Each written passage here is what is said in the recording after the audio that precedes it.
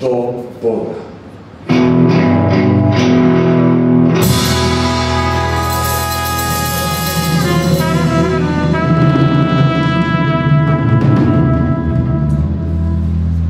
U Jeruzalem,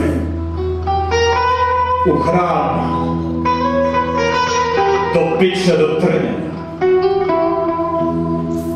dolorozom na Golgotu, do križa i smrti uskrsnuće. Na Maslinovu goru, do stijene gdje izdan je, kod stabla gdje ukopšen u Galileju gdje ukazao se, do vode kojom koračao je, na obalu kojom propovjedao je,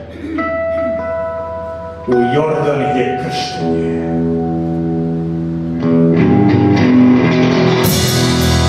U pustinju gdje je, od satana izazvan, pred ocem svojim dokazan, kako nosi pobjedu na plodnu obalu, a sušu pustinje mraku ostavlja. U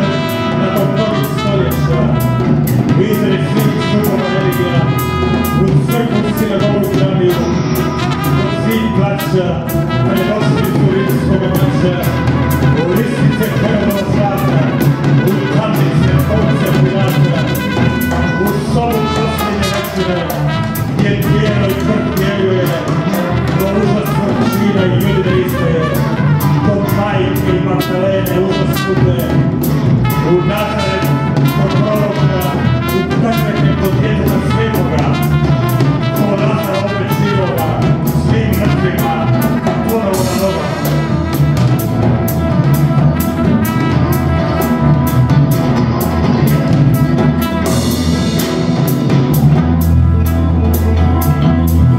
Svim mrtvima ponovo na nogama,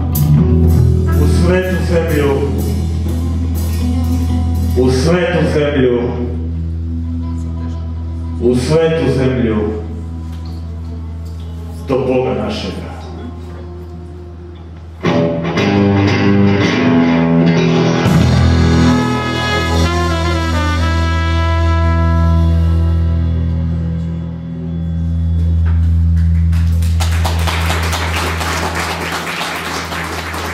Gracias.